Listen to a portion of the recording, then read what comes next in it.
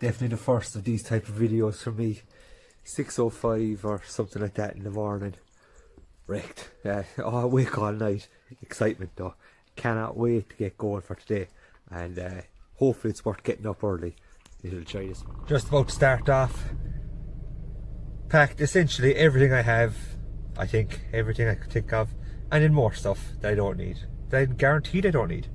But sure look, going skate fishing today all the way down to Union Hall in County Cork about two hours and 10 minutes from me so better get going. That's it guys. The unbelievable. It's Reen Pier down there in the distance. Tom has just pulled up with the boat.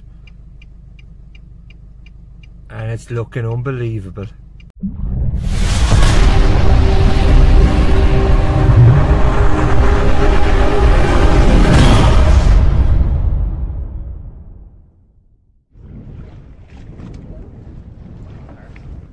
we had some great fishing over the reefs and we ended up getting two coalies that were this size. So I'm just going to show you now the bait that I was using for the skate. It's um, a, a flapper is what they call it. Essentially what you're doing is doing a fillet but leaving it attached at the head and at the same on the other side then removing the spine and the tail from it so that it flaps in the water when it's when it's lower down and it moves in the tide. Now, little known fact that coalies and ling are really top baits for skate.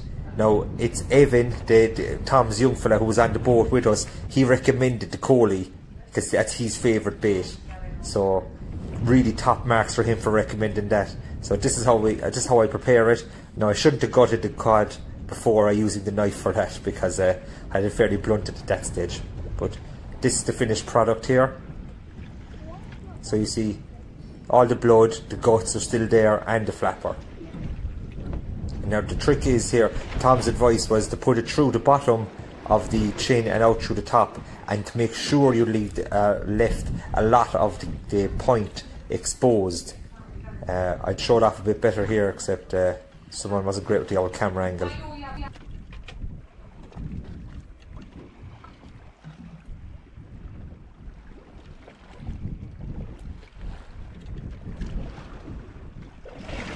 So you'll notice I'm dropping it down really slowly here. The tricky, this is a good trick so that you don't get your bait tangled up around your main line. How's that? Have you butt pad? No, sure why would I do things like that?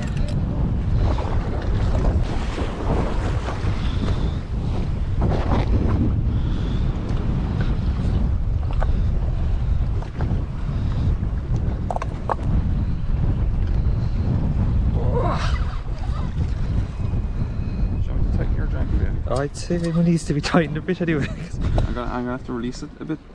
Thomas, yeah. Right, try that there now.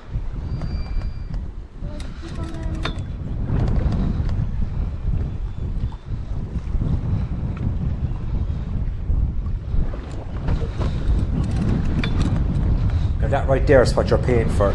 You get a, an experienced skipper, he lets you there with your drag too loose, Yeah. and you end up spending ages trying, trying to play a fish, and it's impossible to get anywhere. Tom spotted the problem, simple, anyway. rectified it, and all of a sudden, I've got a great opportunity to get some line on the reel and make a good fight of this.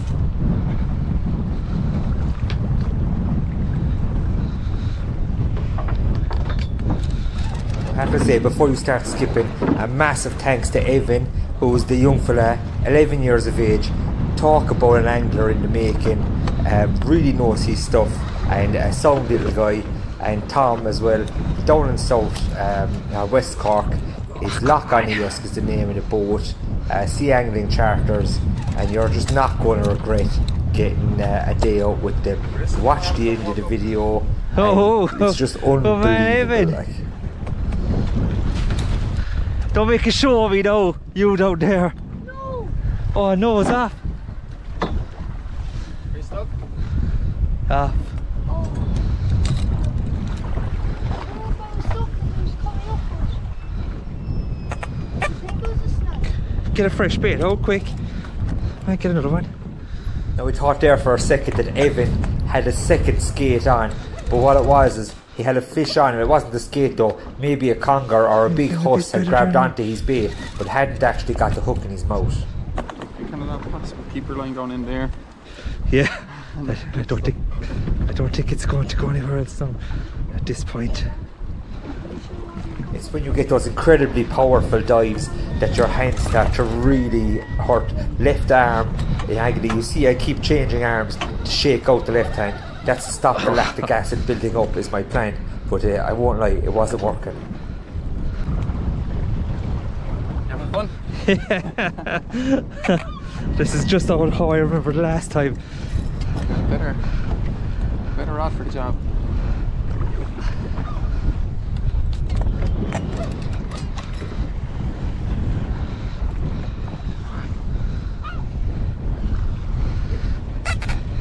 Fifty nine ninety nine. Short and take does the trick.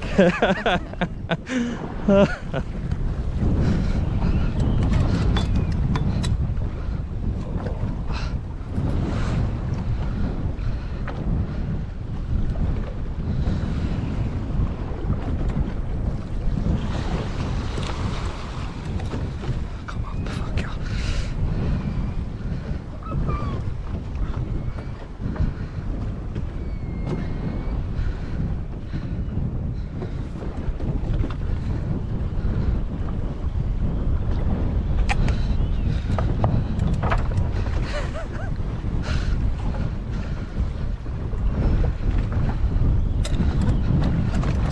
I'm under serious pressure here at this making stage. Arms are aching. But look at this on the right hand side of the screen. Just there. No idea what that was. Never saw it on the day. But uh, saw it during the editing.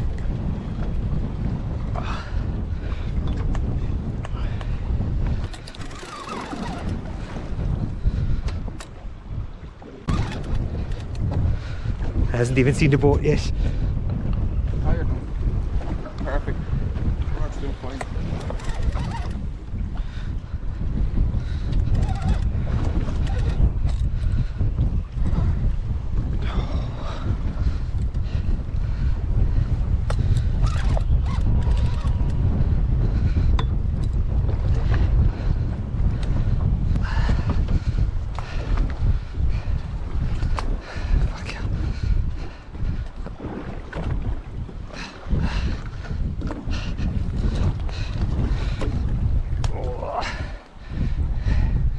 He's not getting the memo top. Problem is, the skate's coming up in the tide, but we don't want to go that way, else you'll off the boat. If that's the case, I'll have to bring it around and fight it from the other side. Just keep an eye on it there.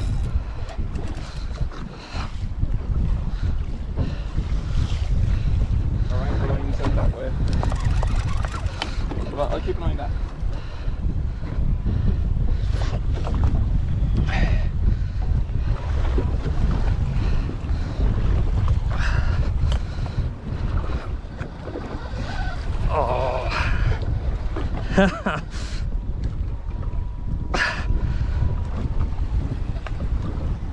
Watching this back now, I feel like Leonardo DiCaprio in The Revenant. I don't know if you've ever seen that movie, but essentially he makes these noises for the whole movie when he's for revenge.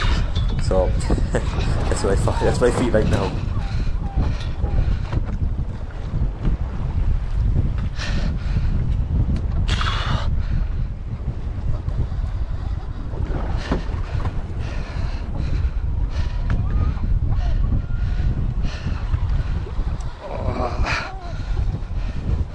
Really crucial thing here, Chris. I think it'd be a good decision to switch over. Yeah. So, yeah, we're gonna have to go. So our anchor line's gone that way, so now have to take the rod up the bow, Right. underneath the anchor rope, and fight it from the other side. Right.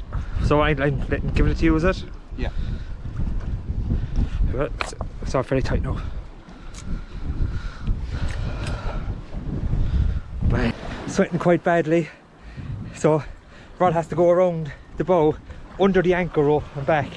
This is the spare rod. If it's stuck in something. So again, Chris, side on pressure so the line doesn't touch the boat. Right. Sorry, if you can't keep your rod pointed towards the land.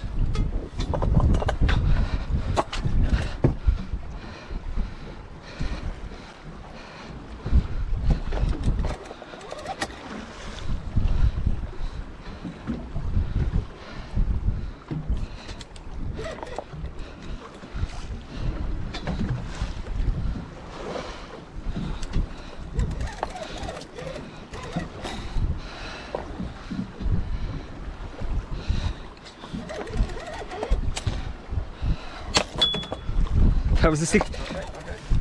That was the 69 euro ride sorted.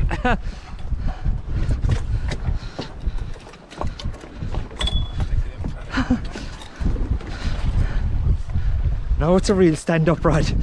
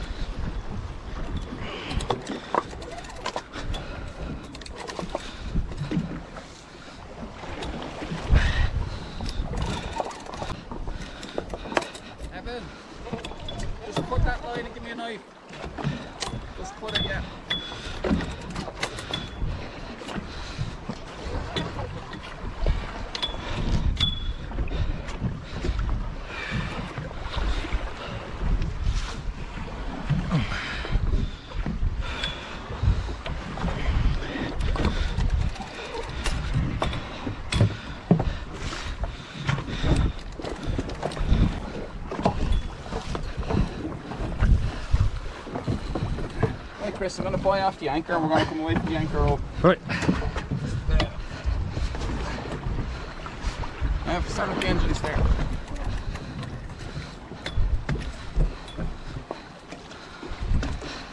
There's that risk of uh, well, the anchor rope.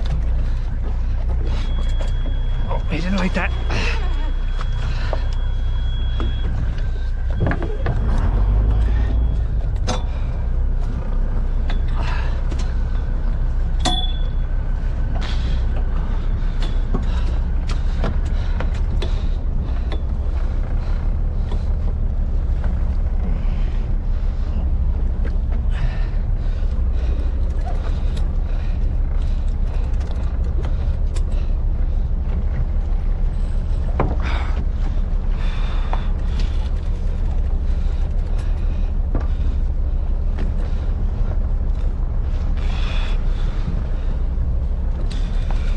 Some power. Oh no, that's bad.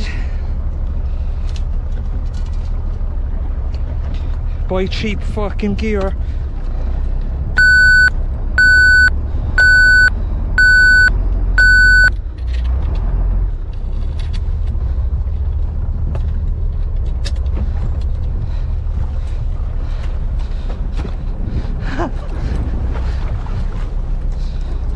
Nearly lost the fucking uh, reel there.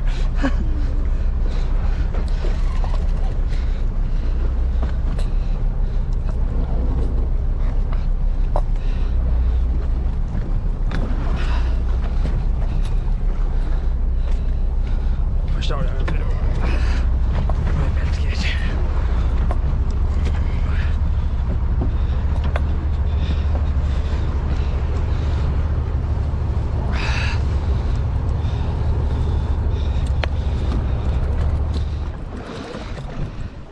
There was enough fun. Not very often. Chris is a special customer. The reel came off the ride. Do I? The reel fell off the ride and everything. Fuck. Did I do it there for I tightened it up again there now.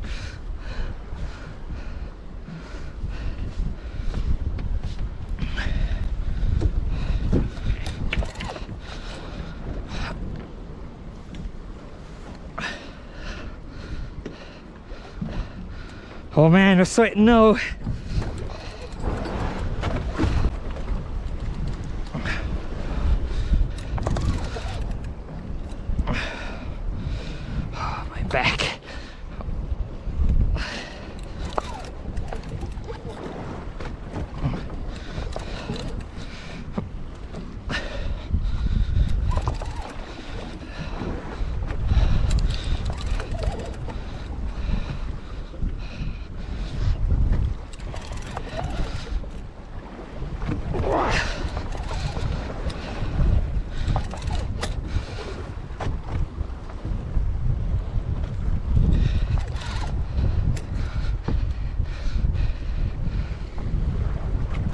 Put, Is that okay?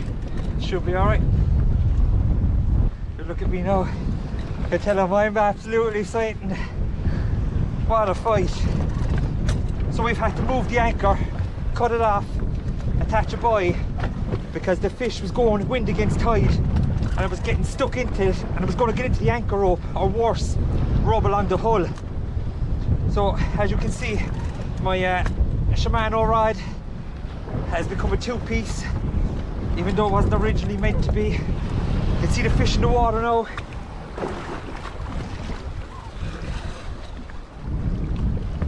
Looks like a good skate.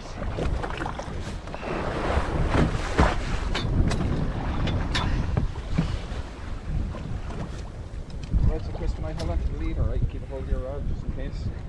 Once there's a gap then we can Yeah. slide.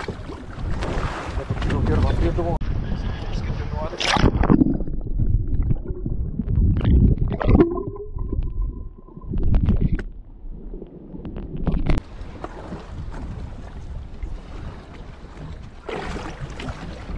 Okay, Chris. Whoa.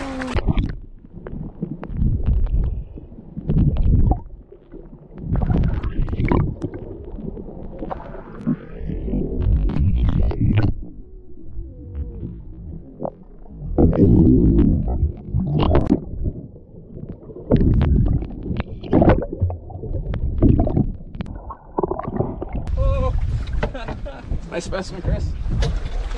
Tag done all already. So we get a bit of information after that.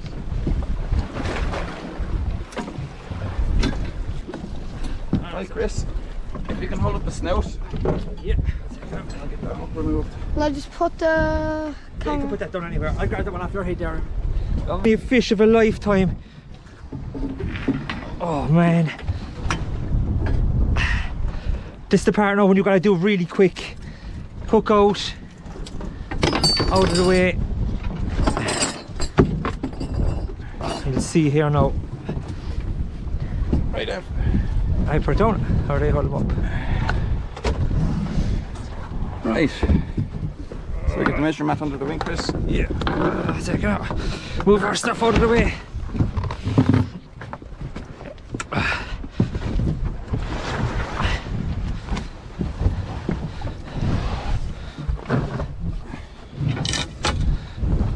Go on. Did we test that last week? I think we did. Four oh four one. Gonna seesaw with the Yeah, let's get this guy off my so we can bend down. As you can see, an amazing fish. Fully worth the ride going. Keep putting water over it is the trick then. Keeps the gills in action. So you put your, I'll put me. Yeah. Put the put me.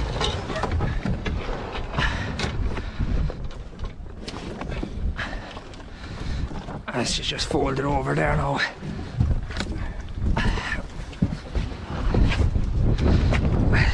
Want on there, Chris? I'll get a picture in the mat.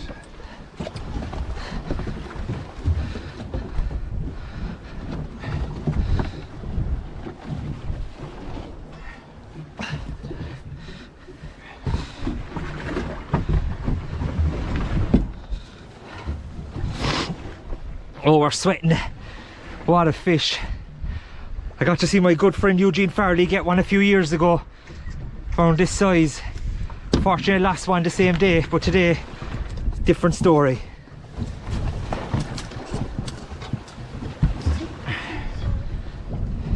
See the tag there, even getting a picture of that.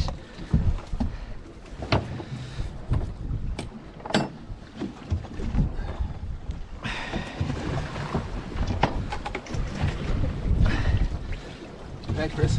I'm gonna move the fish back to you and we get a picture of you. Hold the tail slightly. Yeah. What an unbelievable fish. At this point, I'm sweating, I'm roasting, and I'm delighted. Never going to forget this day. Even now, my hands are sweating thinking about it. Unbelievable. Yeah, yeah. Whenever you're. Okay.